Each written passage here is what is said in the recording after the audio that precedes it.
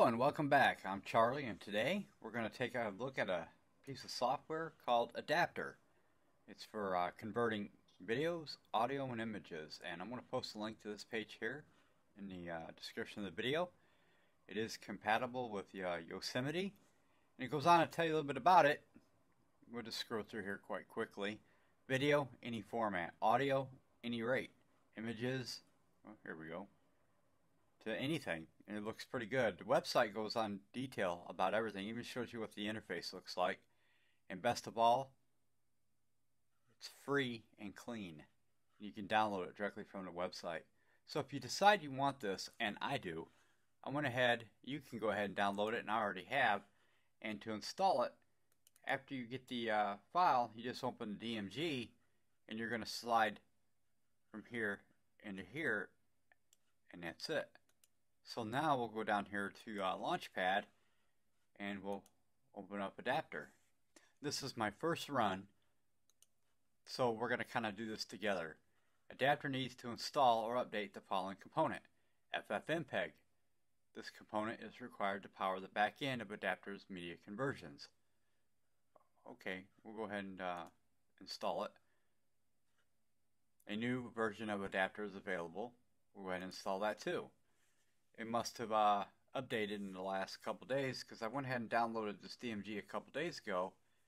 So it's uh, downloading the update now. It'll just take it a second and we'll uh, check out the uh, software. have a small clip from one of my Ubuntu tutorials that we'll use uh, to see how well it works. It's extracting the update now. We can install and relaunch.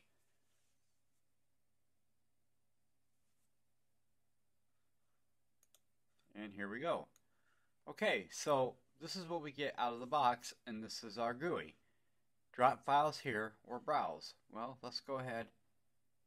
You know, first of all, let's go ahead and eject the installer.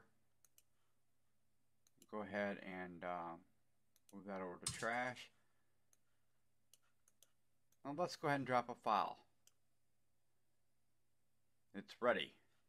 Okay, select an output file type video, general, Apple. Wow, we've got all these.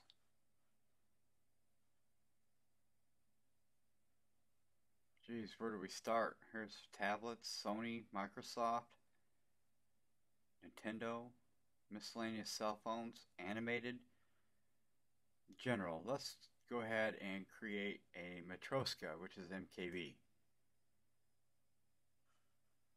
Click this button to toggle a preview of your output. Well, nothing yet. Let's go ahead and convert. It's converting. Here's our MKV. 1920 by 1080.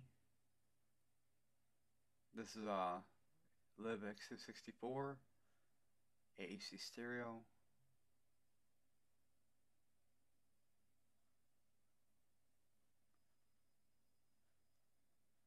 says pop-up. Adapter is free. If you've enjoyed it, rate it, etc. Maybe later. It says it's completed. Alright, so let's go ahead and get info on this.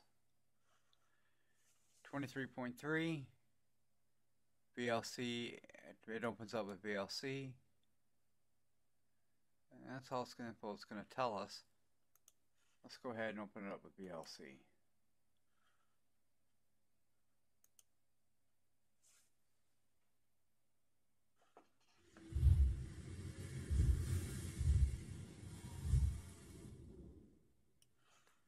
Absolutely perfect.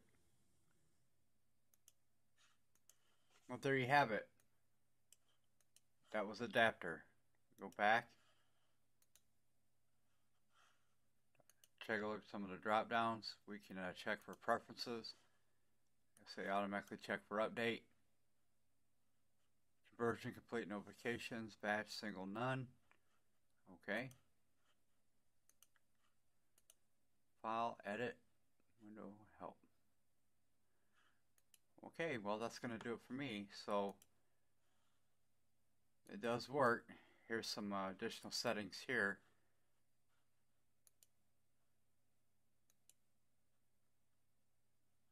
Very cool program.